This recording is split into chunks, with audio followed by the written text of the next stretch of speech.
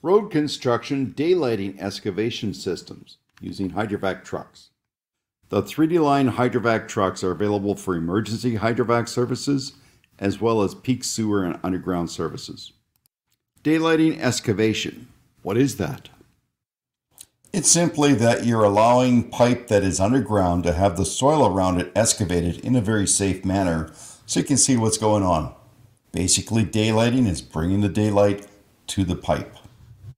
That's the simple process.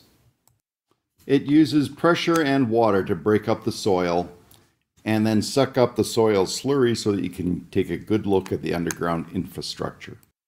What are the benefits of the 3D line daylighting excavation? It's cost effective, it's safe, and it's flexible. It can be done in frozen ground, up to 40 below zero.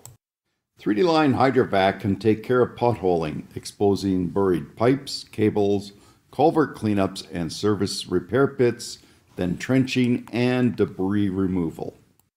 3D Line Hydrovac has full certifications. Simply scan to book your Hydrovac truck.